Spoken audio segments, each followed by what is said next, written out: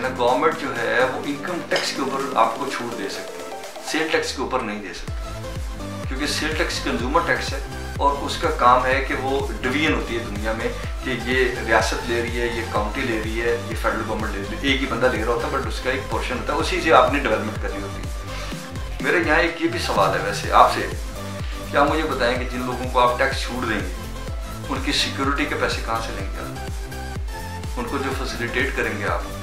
जो सड़कें वो इस्तेमाल करेंगे, जो और चीज़ें इस्तेमाल करेंगे, उसका पैसा कहाँ से आएगा? ये इकोनॉमिक एक्टिविटी होती है। मैं ये नहीं कह रहा कि गलत है it's a good thing but technically आपने उसमें देखना ये है कि आपने उनको छूट देनी है। तो मैंने जो इंडस्ट्री चलाई है, मैंने क्या गुनाह किया इस तरह की मजीद वीडियो देखने के लिए हमारा यूट्यूब चैनल अभी सब्सक्राइब कीजिए।